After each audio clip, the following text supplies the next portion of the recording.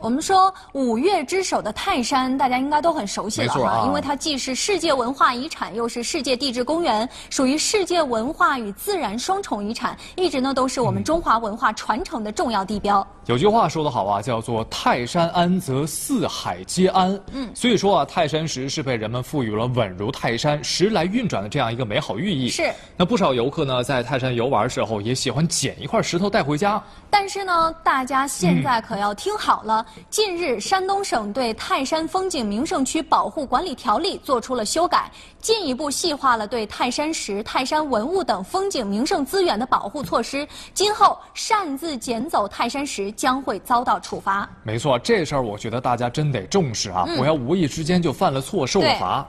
那日前呢，山东省对于《泰山风景名胜区保护管理条例》作出了修改，进一步细化了对泰山石、泰山文物等等的风景名胜资源的保护措施。条例呢明确规定，严禁以任何名义和方式出让或者是变相出让风景名胜资源以及景区土地。明确规定，禁止盗采、销售泰山石，并明确在泰山风景名胜区内盗采泰山石的，由泰山风景名胜区管理机构。责令停止违法行为，恢复原状，没收违法所得，并处五十万元以上一百万元以下的罚款。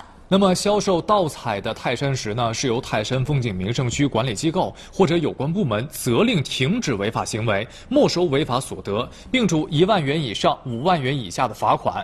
也就是说呢，根据这一条款呀，今后呢，凡是在泰山风景名胜区内盗采泰山石的，无论在哪里销售，都将一律禁止。没错，其实呢，我觉得出台这个规定也是势在必行了哈，因为很多人都喜欢随意带走泰山石，一人一块石头，那时间长了之后，可能。就把泰山搬空了。我觉得这个举措也是非常有必要啊！大家这么做呢，都是为了长久以来的保护泰山，为了保护这一处宝贵的世界自然与文化双遗产，提供了法治保障啊！没错，条例出了，规矩定了，那下一步呢，就看怎么去落实了。据说泰山管理部门呢，将依托智慧泰山管理系统，充分运用视频监控、还有无人机等等的高科技手段来加强巡查。那对在泰山风景名胜区内捡拾带离山石的，严格依据泰山条例，责令其改正。